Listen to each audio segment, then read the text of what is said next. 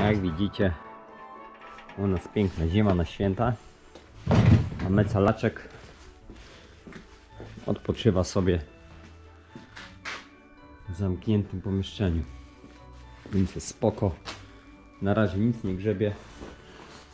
Filmów na razie też nie było co nagrywać. Między świętami a Nowym Rokiem prawdopodobnie będzie e, jeden rozładunek dachówki i Suporexu.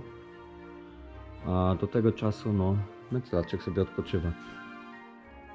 Mm, Kolejną sprawą, którą będę chciał sobie w międzyczasie porobić i tak dalej, to o, jak widzicie, mam też wyciek e, oleju hydraulicznego, ponieważ jak robiliśmy most, to e, jest tam o-ring, jak rozłącza, jak rozpoławiamy ten cały obudowę mostu, jest o-ring i tak szczerze nie wiedziałem, że go trzeba od razu wymienić.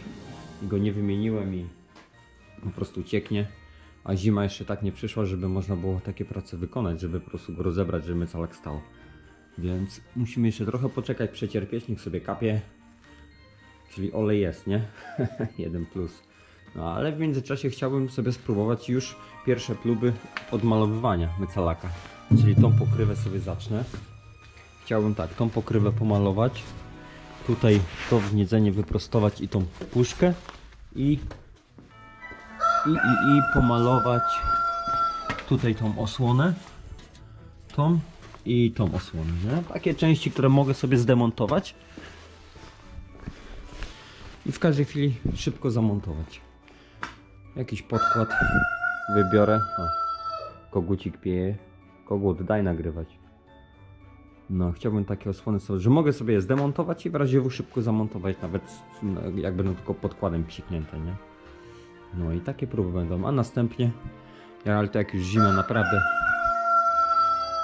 kogut, ale jak już naprawdę zima przyjdzie, to wtedy po prostu będę chciał odmalować całego mecalaka.